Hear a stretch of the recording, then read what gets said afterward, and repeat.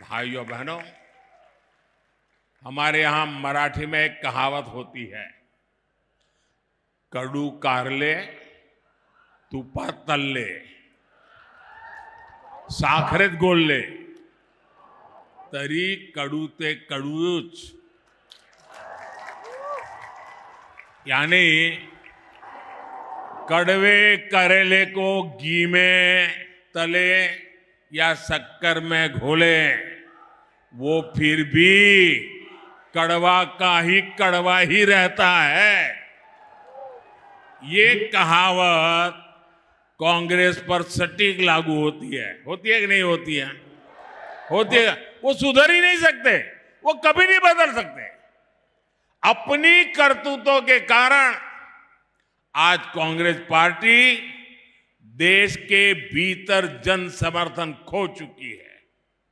इसलिए अब कांग्रेस खुलकर बांटो और राज करो के खेल पर उतर आई है।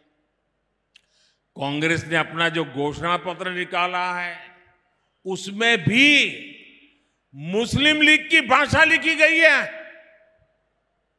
क्या ये आपको मंजूर है? ये देश स्वीकार करेगा?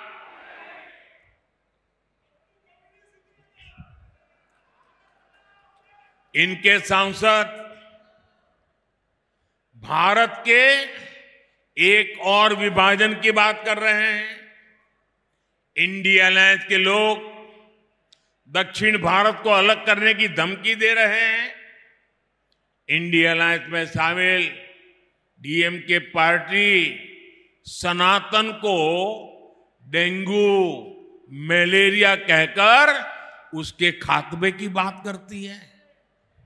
और कांग्रेस, नकली शिवसेना वाले, उन्हीं लोगों को महाराष्ट्र में लाकर उनसे रैली करवाते हैं।